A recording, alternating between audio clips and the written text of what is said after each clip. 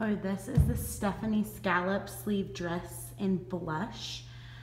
This one is a winner if you're looking for a bridesmaid's dress, you guys. You'll see more scallop from us, especially um, the rest of this year because I think it's a really pretty detail, um, especially on a dress like this. Um, this dress has pockets in it and then this waistband while structured up front is an elastic on the back. So I do have some space in here. And if, let's think, if I was a little bit chestier, I'd also have some space. And I definitely think this waistband would help. And then as far as through my shoulders, I'm super comfortable. This fabric has a little bit of give to it, so that's nice. And then it is lined. Woohoo.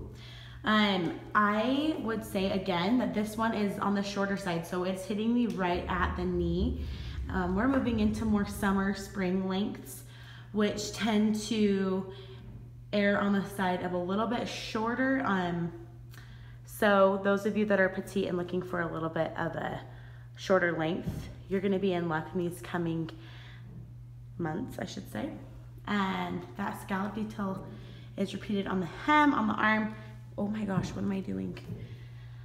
As far as maternity goes, um, this would fit me all the way through as long as I would could pull up my waistband, which I wouldn't be worried about if like people knew you're pregnant, they'd be like, oh yeah, you pulled up your waistband to cover or to go over your belly. Right now, as it stands, I can pull it pretty far down. So I would say that this runs true to size. If you're getting it for bridesmaids dresses, I would get your regular size.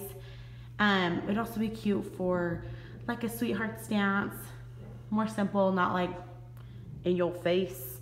Um, or maybe even pictures would be a good idea for this one as well. Wear a better bra than what I wore would be my only word of advice.